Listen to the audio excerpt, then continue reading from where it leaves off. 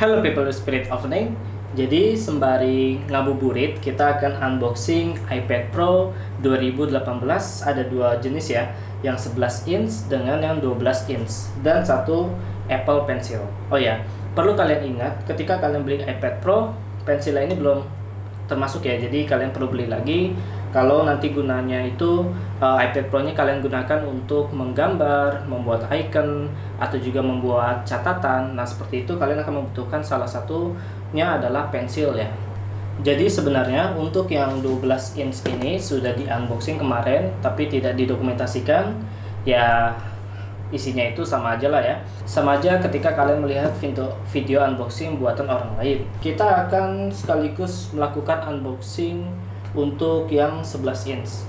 Oke jadi pada dasarnya yang 12 inch ini untuk istri saya ini saya beli untuk kado nikah ya. Tapi waktu itu saya pas nikah belum punya banyak uang.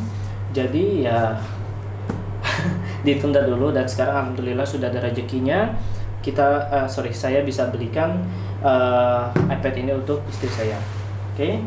dan di sini ada iPad Pencil Lalu ini yang punya saya karena saya ingin sekali belajar tentang desain ya, icon design, illustration segala macam.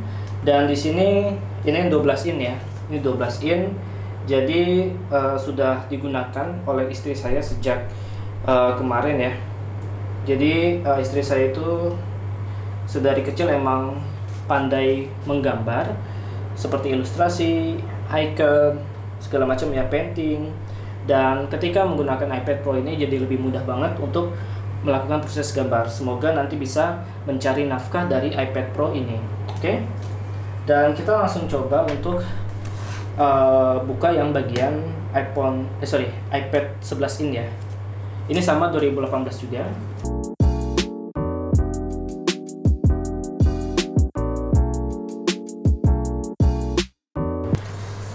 Wow, jadi ini untuk bagian uh, iPad Pro yang 11 in ya. Itu ukurannya beda jauh banget. Jadi yang uh, di sini teh aduh kenapa saya pakai bahasa Sunda jadinya ih. nah, uh, jadi di sini uh, yang 12 inch ukurannya hampir sebesar MacBook saya yang 13 inch dan di sini yang 11 inch. Saya kurang suka yang besar-besar ya. Jadi saya lebih suka yang pas di tangan aja deh, you know. Oke. okay? Uh, jadi ya di sini bisa kita uh, lanjutkan lagi. Kita buka. Oh ya ini saya pertama kalinya beli iPad ya. Jadi sebelumnya saya lebih suka membeli MacBook ataupun iPhone. Seperti uh, iPhone X ini saya uh, sudah lama ya pakai ya. Tapi tidak diganti karena tidak terlalu butuh. Jadi saya akan mencoba mencari nafkah dari uh, iPad Pro. Oke. okay? Dan di sini karena istri saya sudah punya yang warna uh, gelap ya jadi saya tidak akan beli lagi yang berwarna uh, space gray. Di sini saya lebih membeli yang berwarna putih ya atau silver. Oke okay? nice. Ini iPad Pro 2018 generasi ketiga. Jadi uh, sebenarnya ketika saya coba bandingkan ini tidak terlalu banyak bedanya dengan uh, iPad Pro 2020 Oke, mungkin hanya berbeda di kamera di sini. Ada kamera seperti tiga kamera ya, matanya uh, matanya Uchiha di sini. nah sekarang kita coba nyalain aja.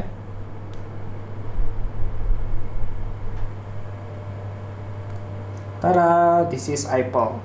Nah sembari nunggu kita lihat di dalamnya ada apa aja ya. Ya pokoknya sama aja lah, nggak ada bedanya dengan reviewer atau unboxing uh, video unboxing lain ya. Kayak seperti ini.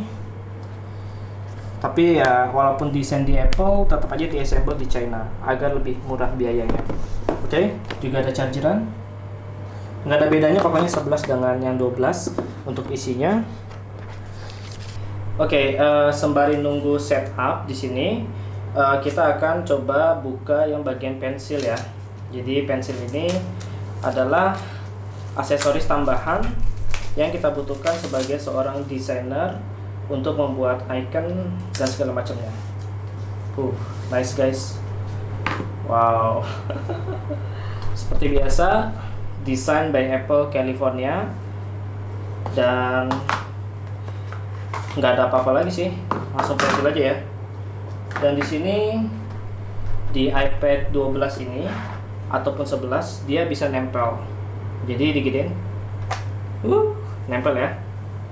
Dan ini ngecas jadi kalau untuk ngecas pensilnya uh, dia perlu ditempelkan pensil ini kepada iPadnya. Sehingga seperti ini. Oke? Okay? amazing. Nah kita coba di 11 kita coba di 11 juga nempel ya. Nah nempel seperti itu. Kayaknya sih kalau tipe saya saya lebih suka yang sebelah sini ini enak banget pegang nggak terlalu berlibat nggak terlalu kebesaran. Jadi ya oke okay lah. Mungkin uh, untuk unboxing kali ini uh, mungkin cukup segitu dulu ya. Nanti saya akan bikin video satu lagi untuk menjelaskan apa saja yang saya bisa lakukan dan apa saja yang membantu jenjang karir saya sebagai desainer dengan menggunakan iPad Pro ini. Oke? Okay? jadi untuk video kali ini kita cukup unboxing aja untuk melihat semuanya normal dan sebagai dokumentasi saya juga nantinya kalau ada komplain apa-apa ya. Oke terima kasih telah menonton dan saya akan bertemu dengan kalian di video selanjutnya. Thank you